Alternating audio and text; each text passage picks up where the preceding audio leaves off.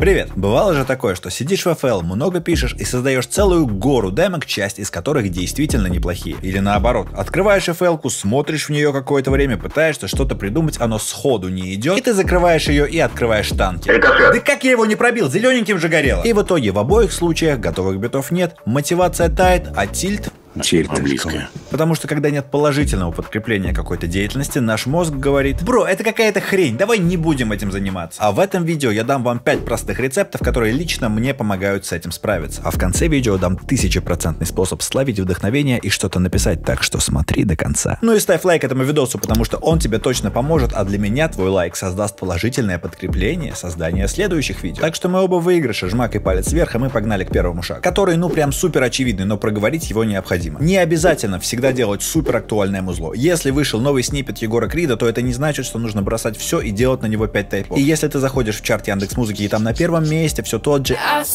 что и месяц назад, это не значит, что нужно срочно переориентироваться на хаос биты. Например, в моей группе битов с прямой бочкой не больше трети.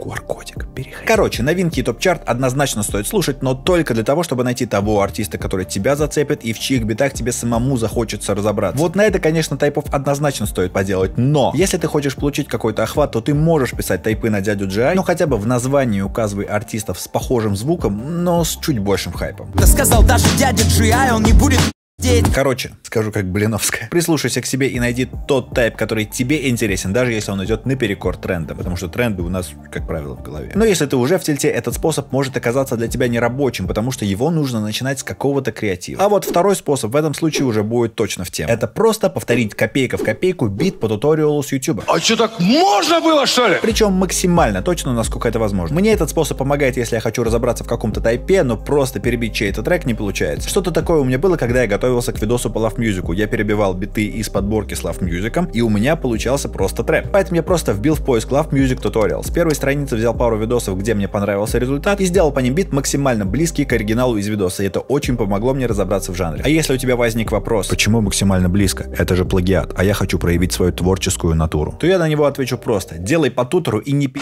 А если серьезно, то следование тутору это стопроцентный путь к результату. А результат это стопроцентный путь к тому, чтобы создать положительное подкрепление подкрепления деятельности. А это, в свою очередь, раздует в тебе гаснущий огонек творчества. Это типа как ходить с костылями, чтобы потом без них бегать, как тебе по кайфу. А если ты будешь отклоняться от тутора, то это снова может завести тебя в тупик, и у тебя появится просто еще одна недобитая демка. А уровень мотивации еще чуть-чуть снизится, а оно тебе надо. Так что выбирай прикольный тутор по стилю, который тебе интересен, и делай максимально близко. Ты точно получишь кайф от результата и, возможно, будешь получать удовольствие и от процесса, но тут есть один нюанс. Если в туторе автор юзает обработку или синт, которого у тебя нет, то у тебя появится жгучее желание срочно бросить все и пойти на рут, чтобы установить все недостающие плагины. Эту тягу необходимо преодолеть, потому что тобой снова пытается завладеть чья прокрастинация. Гони ее, потому что иначе ты потратишь целый день и снова получишь ноль результата. И для большинства перебивок хватит экспенда, портала, халфтайма и вальхалы какой-нибудь. Или фаб-фильтра. Я не говорю, что нужно пользоваться только этим, и VST-шный минимализм это единственный способ существовать. Нет, нет, нет, я говорю только о том, что нельзя прерываться, когда ты пишешь на то, чтобы установить плагины. Вот дописал, вывел и пошел за покупками. Покупками, ага. А до этого пользуйся тем, что у тебя уже есть. Лично для меня это на 100% рабочая страта. Я бы даже сказал единственно рабочая, потому что реально стоит отвлечься и все все, пу, поехал. Сначала зашел на один сайтик, потом, о, а почитаю все еще, обзорчик посмотрю, а вот библа интересно, и все. И потом ты уже очнулся, когда два часа смотришь стрим по танкам, и такой, где я был все это время? Например, вот какой-то туториал по трэп-солу. Там он использует какой-то электропиано, аккорды тоже возьмем подчастую. Типа такого. Let's just, I don't know, cut some stuff out. Только я уверен, что за кадром он кинул еще какой-то хорус. И сделаем такую же фигню, как у него. Like Наверное, это не самый подходящий туториал для перебивания, потому что за кадром он написал мелодию, развернул ее. Ну, как будто общую идею я его уловил. Основная мелодия и реверснутая мелодия. Какой-то немножко странненький хай-хет, реверснутый рим, обычный рим. Удобнее скачать туториал, закинуть его в FL и делать прям по нему. Тоже басец.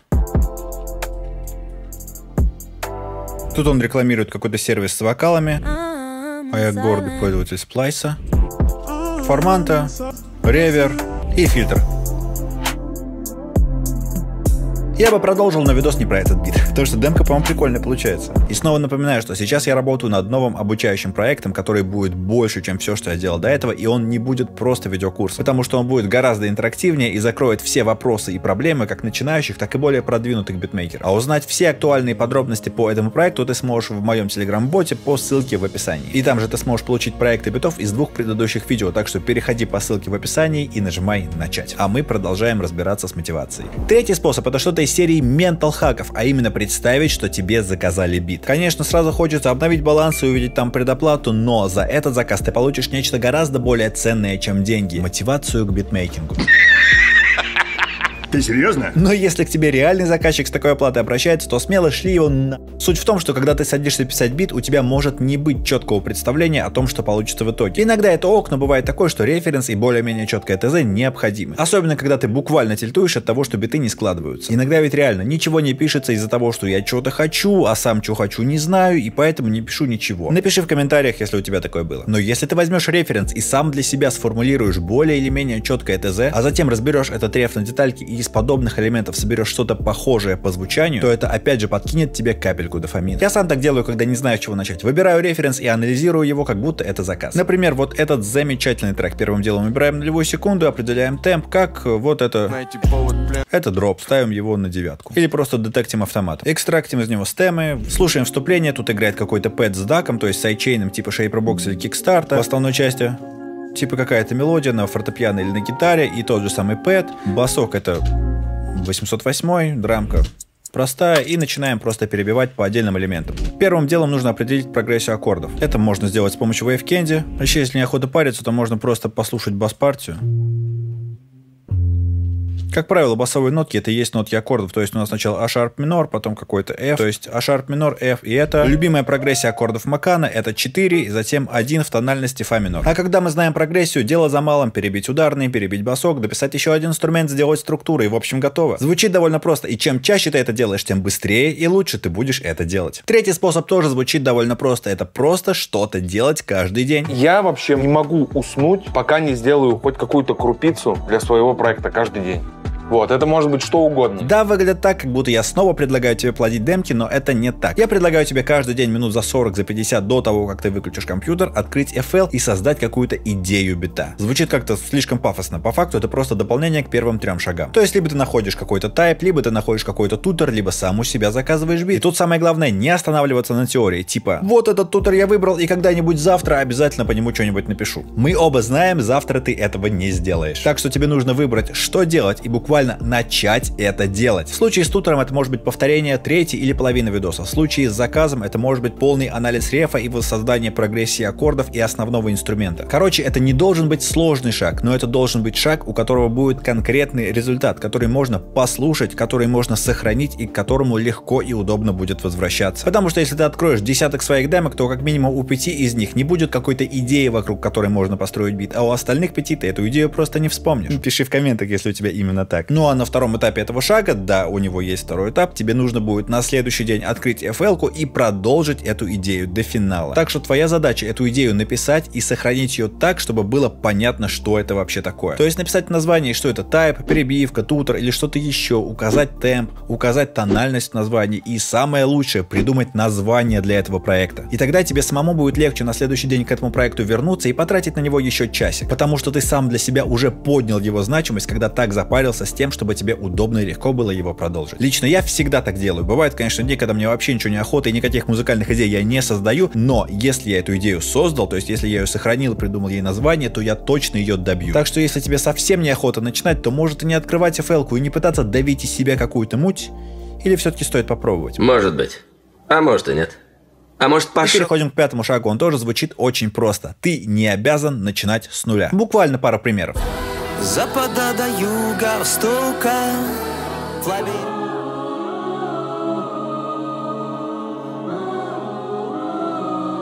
Умею песню спою, как последний раз. У костра Самый старший отряд твой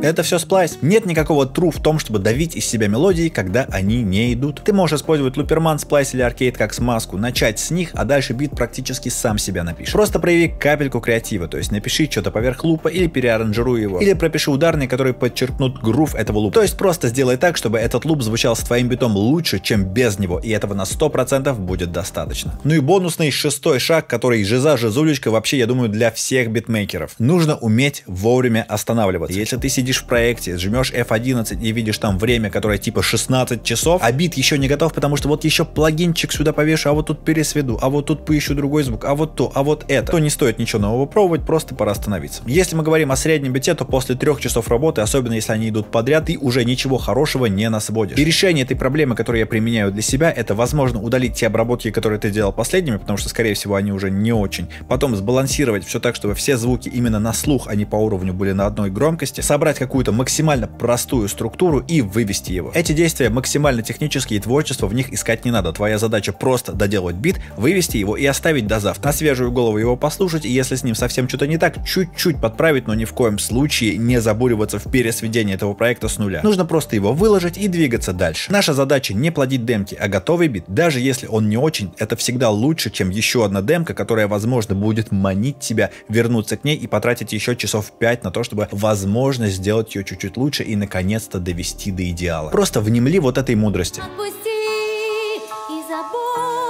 Ну и фишка, что я обещал в начале, которая на 100% запустит твой креатив. Ну лично мне она всегда помогает. Если из того, что я говорил выше, мне ничего не помогло, если я по-прежнему не знаю, чего я хочу, я просто в сплайсе выбираю в инструментах что-то типа гитары или фортепиано. Вот здесь вот в лупах ставлю рандомные лупы. И на первой или на второй странице точно найдется луп, который меня зацепит и с которым я сам захочу сделать бит. Например, вот этот биток так и был написан. Я сначала зацепился на этот луп на фортепиано, потом дописал все остальное.